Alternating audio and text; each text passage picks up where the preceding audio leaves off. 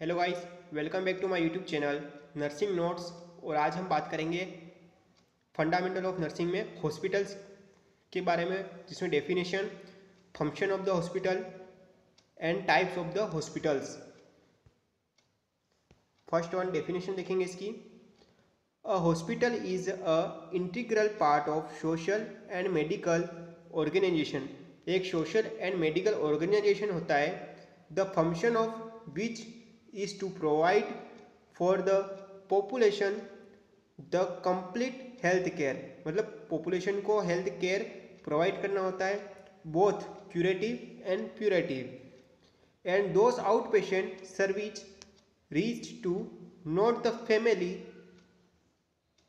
to the family and is home environment मतलब सिर्फ़ outpatient को नहीं बल्कि फैमिली और होम होम इन्वायरमेंट भी प्रोवाइड करना। इसके बाद the hospital is also a centre of training of the health worker and bio social research मतलब एक ट्रेनिंग सेंटर भी होता है, जिसे कि डॉक्टर्स हो गए नर्स वगैरह हो गया फार्मासिस्ट हो गया पैरामेडिकल स्टाफ हो गया, इस तरह से। इसके बाद classification of the hospital classification of the hospital में बात करेंगे।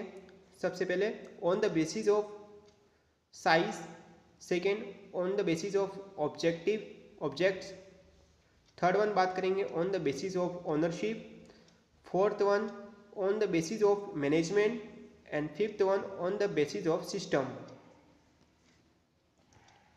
सबसे पहले on the basis of size size के अकॉर्डिंग तीन तीन पार्ट में डिवाइड है. Small medium and large small में in the bedded are zero to hundred मतलब ज़ीरो से सौ बिलो हंड्रेड के बीच में जो हॉस्पिटल होते हैं, उसको स्मॉल हॉस्पिटल कहते हैं। Second medium in the bed number is under one hundred to three hundred bedded मतलब सौ से तीन सौ बेडेड हॉस्पिटल होता है। थर्ड वन है large hospital in this bed number in three hundred above मतलब तीन तीन सौ से ज़्यादा बेड की संख्या। जैसे कि example PHC primary health centre छः से दस बेड होते हैं, जो कि स्मॉल में आते हैं।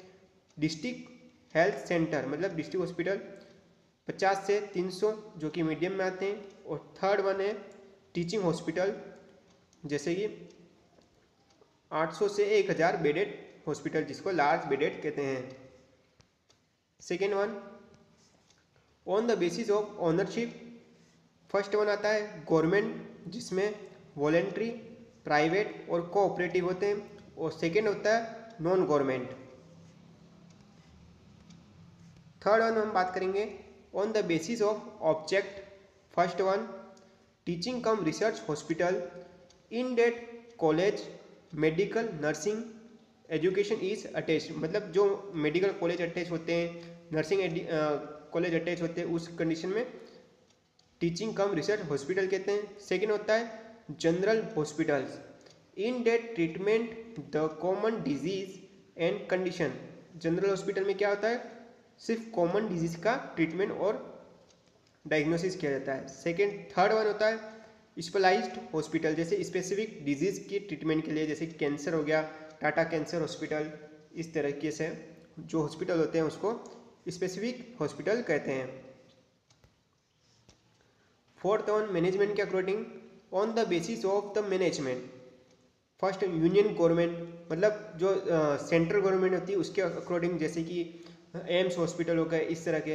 इसके बाद स्टेट गवर्नमेंट हॉस्पिटल स्टेट के अक्रो जो होते हैं गवर्नमेंट जो अपॉइंट करती है। थर्ड वन होते हैं local bodies local hospitals autonomous जो कि ये कोऑपरेशन से बनते हैं। फिफ्थ वन प्राइवेट हॉस्पिटल और six one voluntary voluntary based hospital होते हैं। फिफ्थ वन है on the basis of system पहला है allopathic hospital second one homeopathic hospital third one ayurvedic hospital fourth one Unani hospital and fifth one hospital hospital of other system of medicine मतलब जो system के according जो hospital होते हैं, वो होते हैं allopathic hospital homeopathic hospital ayurvedic hospital Unani hospital and hospital of other medicine system other medicine system के अकॉर्डिंग जैसे अक्यूपंचर जो हॉस्पिटल मेडिसिन के अकॉर्डिंग होता है सिस्टम के अकॉर्डिंग होता है, वो हॉस्पिटल होता है। इसके बाद हम बात करेंगे function of the hospital function of the hospital में क्या है? Care of sick and injured मतलब कोई बीमार है, कोई इंजर्ड है तो उसकी केयर करना। Second one prevention of disease जो कम्युनिकेबल डिज़ीज़ हो गई नॉन कम्युनिकेबल डिज़ीज़ हो गई, उनसे प्रिवेंशन करना। Promoting of the health health को प्रमोट करना। Diagnosis and treatment of the disease मतलब कोई बीमारी उसको डायग्नोस करके फिर उसका ट्रीटमेंट करना। Fifth one scientific application of mental hygiene and mental therapy मतलब साइकोलॉजिकल सपोर्ट हॉस्पिटल मतलब प्रोवाइड करना। रिहेबिटेशन एक रिहेबिटेशन थेरेपी होती है उसके अकॉर्डिंग इसका कार्य होता है। सेवन वन है medical education medical education means जैसे कि